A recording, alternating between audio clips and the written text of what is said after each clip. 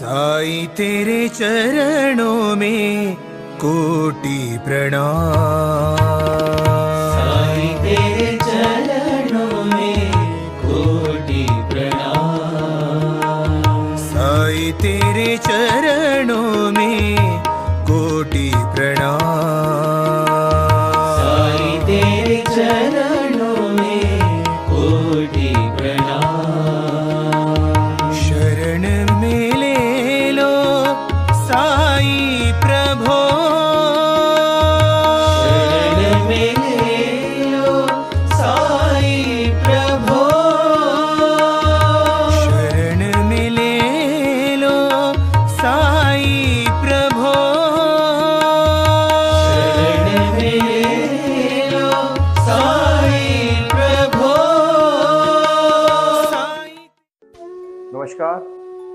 मेरे प्रिय आत्मन, मैं साईवानी में आप सबका स्वागत करता हूँ और प्रारंभ करो, जारी रखो इसी विचारधारा से हमने साईवानी को प्रारंभ किया। देश विदेश की जगत में हम जुड़े और आज हम बहुत आगे जा चुके हैं। साई बाबा की एक बहुत भव्य ऐसी स्मृति की स्थापना हो चुकी है। बाबा वहाँ हमारे लिए मार्गदर्शक है और हम सबके प्रेरणा स्थान है।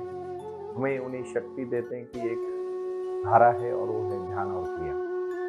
साई ध्यान से हम जुड़ चुके हैं और साई क्रिया से हम बहुत महत्वपूर्ण जीवन में बदलाव लाना चाहते हैं। कुछ कर गुजरने के लिए मौसम में ही मन चाहिए, साधन तो जुड़ जाएँगे, संकल्प का धन चाहिए। और यही संकल्प को हमने मद्देनजर रखते हुए जीवन में क्रांति की बदलाव किया और इसी कार्य से हम जुड़े रहे।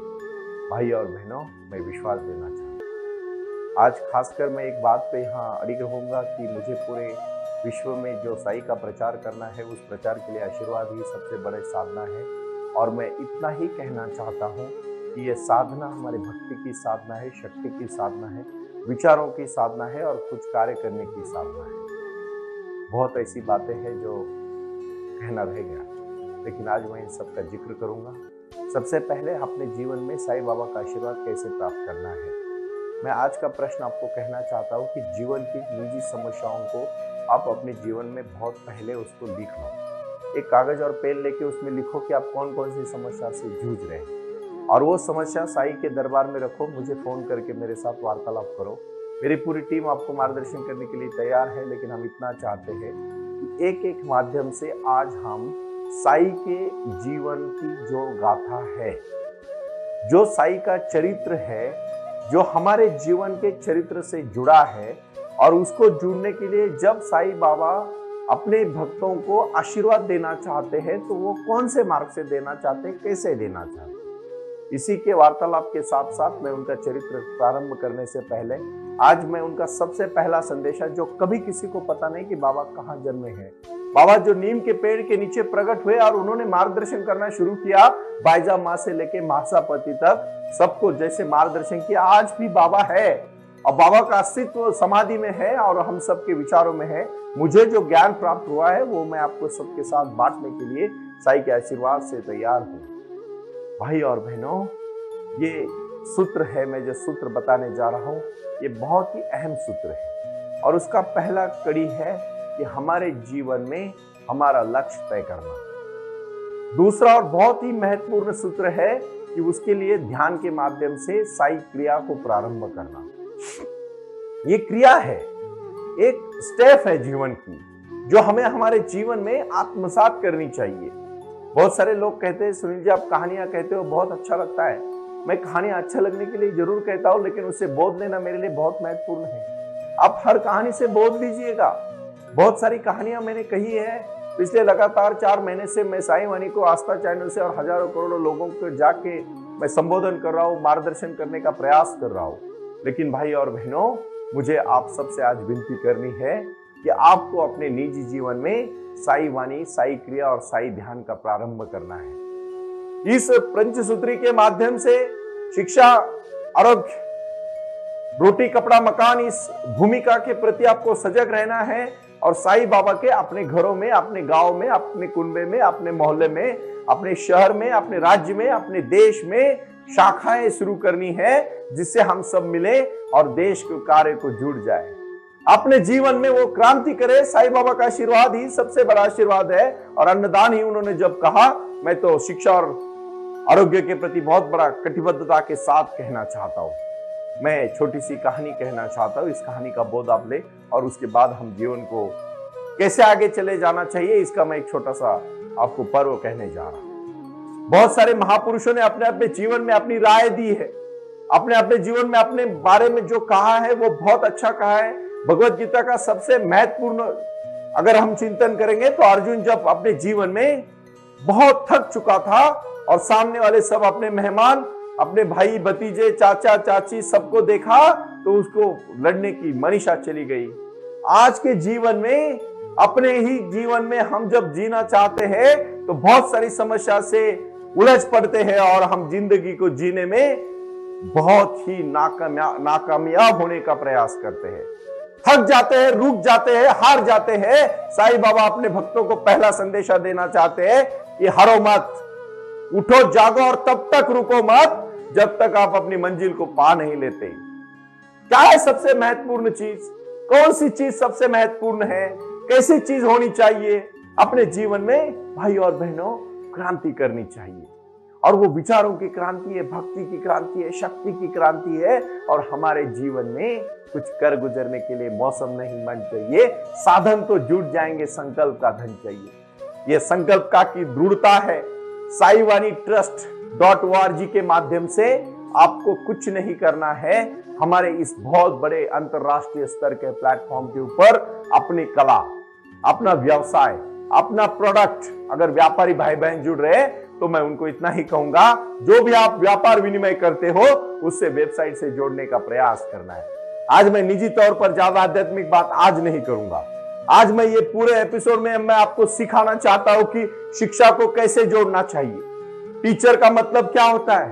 अपने जीवन में एक मैं मार्गदर्शक की भूमिका, गुरु तो मैंने खुद नहीं कहूँगा, लेकिन अगर आपको कभी मेरा शब्द उस तौर पर लगे तो ज़रूर लेना, क्योंकि मैंने बहुत प्रयास किया बाबा ने जब मुझे एनलाइटमेंट में आशीर्वाद दिया और उनकी भक्ति और उनकी शक्ति के साथ में जब लीन हो गया तो उन्होंने मुझे जीवन के बारे में जीने की कला सिखाई।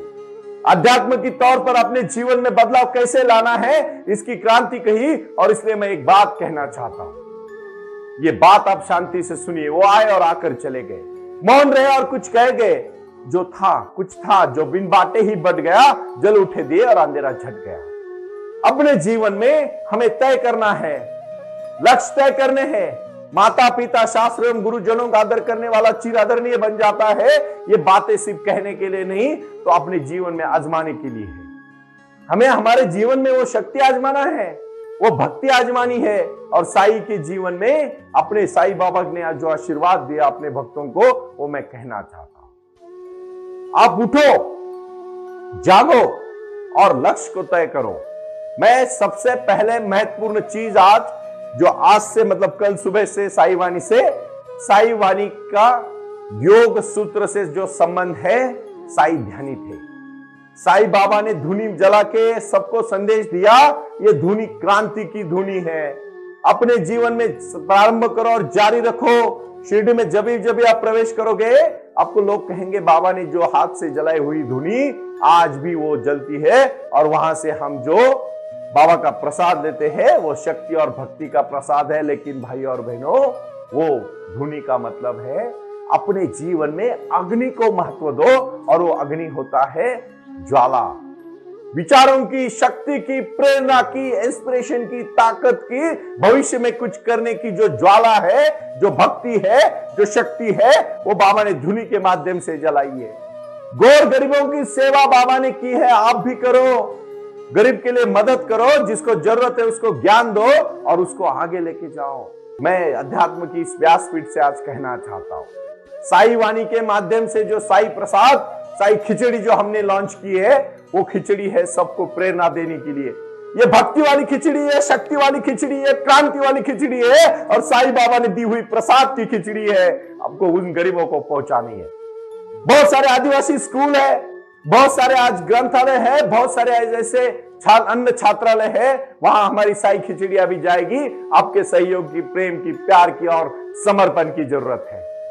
तीसरा और बहुत महत्वपूर्ण है बाबा अपने भक्तों को सुबह जल्दी काकड़ आरती उठाने का प्रयास करते हैं। जो सुबह जल्दी उठेगा वो रात को जल्दी सोएगा और सुबह उठने का ब्रह्म मुहूर्त में उठने का आनंद ही अलग है। ब्रह्म मुहूर्त में उठने के बाद साई क्रिया को प्रारंभ करो और साई क्रिया की नौ क्रियाएँ, जो सबसे पहले है ध्यान प्राणायाम। दूसरी है कपाल भाती। तीसरी है अनुलोम विलोम। चौथी है भ्रामरी। पांचवी है उज्जयी। छठवीं है सबसे महत्वपूर्ण है जो मैं कहना चाहता हूँ उद्गीत प्राणायाम। जो हम हमारी शक्ति को बाहर फेंकते हैं नेगेटिव एनर्जी को बाहर फेंकते हैं और पॉजिटिव एनर्जी को अंदर लेते हैं उससे शक्ति क्रिएट होती है, क्रांति करते हैं हम। और इसीलिए साई वाणी को प्रारंभ किया है। मैं अलग अलग जगहों पे अभी शिविरों के लिए जा रहा हूँ। लोग आ रहे जुड़ रहे और गले लग रहे और कह रहे सुनील जी, हमें बहुत प्रेरणा मिल रही है। प्रेरणा तो साई बाबा दे रहे शिरडी के साई बाबा का आशीर्वाद एक बार मिल गया। आपको कोई नहीं रोक सकता। मैं सिर्फ़ एक बात यहाँ दिल ठोक के छाती ठोक के कहना चाहता हूँ, उठो और साई क्रिया को प्रारंभ करो। आपके जीवन में सबसे महत्वपूर्ण है ध्यान। ये ध्यान की एक शक्ति है, वो शक्ति इतनी प्रेरणादायक शक्ति है, आपको कोई नहीं रोक सकता, कोई कभी नहीं रोक सकता। मैं छोटी सी कहानी कहना चाहता हूँ। एक बार एक इंसान पूरी तरह से थका हुआ लकड़ी का बोझ लेके चलता है और वही से राजा की सवारी होती है। राजा सवारी करते देखता है तो देखता है अपने राज्य का एक बुरा बहुत बुरा इंसान, बहुत बड़ी लकड़ी का बोझ लेके चल रहा है और उसको चलना नहीं हो रहा है। राजा रुकता है और राजा कहता है आप आइए। आप बुज़ुर्ग है, मेरे राज्य के हैं, राजा अच्छा इंसान होता है। अब मेरे रथ में बैठिए, मैं आपको जहाँ जाना है वहाँ छोड़ देता हूँ। मैं भी उसी तरफ़ से जा रहा हूँ। वो बूढ़ा इंसान बहुत खुश हो जाता है और राजा के रथ में बैठ जाता है, लेकिन अपने सर पे ली हुई वो बोरिया जो लकड़ी होती है वो वैसे ही सर पे रखता है। राजा कहता है, आप इतने अभी आराम से बैठिए मेरे रथ में। आप सर पे क्यों लेके बैठे हो? वो बूढ़ा इंसान कहता है, राजा, आप इतने दयालु हैं, इतने महान हैं। आपने मुझे रथ पे जगह दी, यही मेरा सम्मान है। मैं मेरा बोझ तो रथ पे डाल चुका हूँ, मैं लकड़ी का क्यों डालू? राजा उसको कहता है, आप पागल है? अरे आप रथ में बैठ गए मतलब आपका लकड़ी का बोझ भी रथ पे आ गया। आप इसकी चिंता क्यों कर रहे हो? आप सब कुछ छोड़ दो रथ पे अभी। आपको मैं जहाँ जाना चाहते हो, वहाँ पहुंचाना चाहता हूँ। अब बोझ लेके क्यों घूमे हो? जैसे ही राजा ऐसे कहता है, राजा हर दिन चिंतित होता है कि मेरा राज्य का कैसे होगा? मेरे लोगों का कैसे होगा? मेरे राज्य में क्या क्या आएगा? सबकी ख्याल होगा क्या नहीं होगा? राज्य अच्छा चलेगा क्या नहीं चलेगा? लेकिन नहीं चलता है। राजा बहुत टेंशन में, समस्या में, बहुत सारी चीज़ों से घिरा रहता था और अचानक अचानक वो कहानी से वो बूढ़ा हंसने लगता और कहता राजा, तेरे रथ पे मैं बैठ गया। मुझे पता है मेरा भी बोझ और लकड़ी का भी बोझ रथ पे आ गया, लेकिन तू क्या कर रहा है? तू क्यों चिंता लेके घूम रहा है? तुझे क्या लगता है? हम भी चिंता लेते हैं। इंसान हो, औरत हो, बहन हो, भाई हो, मित्र हो, व्यापारी हो, विद्यार्थी हो, शिक्षक हो, जो भी है आज चिंता करके जी रहा है। हर जिस भगवान ने आपको जन्म दिया है। वो सब चिंताएँ ले लेंगे। आप क्यों चिंतित हो रहे हो? आप क्यों परेशान हो रहे हो? साई बाबा अपने भक्तों को आशीर्वाद देते हैं, भाई और बहनों। श्रद्धा रखो। सबूरी के साथ अपने जीवन में एक लक्ष्य पकड़ के उसके ऊपर चलो। पहुँच जाओगे आप। आपको कोई नहीं रोक सकता। कभी कोई नहीं रोक सकता। आपको सिर्फ़ एक चीज़ पे ध्यान देना है, सिर्फ़ और सिर्फ़ बाबा के ऊपर बोझ डाल के, अच्छे कर्म करके सत्य के मार्ग पर चलना पड़ेगा। ये राह है। ये जीवन की राह है। ये प्रेरणा है। ये इंस्पिरेशन है। जीवन का लक्ष्य है। और कुछ कर गुजरने के लिए क्रांति है। ये क्रांति जीवन की क्रांति है। ये भक्ति की क्रांति है। शक्ति की क्रांति है। मैं इसलिए कहना चाहता हूँ। आप थोड़ा समझदारी से समझिएगा। मैं आज एक विषय पे बहुत आगे की बात करने जा रहा हूँ। ये क्रांति आप क्यों करना चाहते हो? ये भक्ति आप क्यों करना चाहते हो? अपने जीवन में तीसरा और महत्वपूर्ण है प्राणायाम।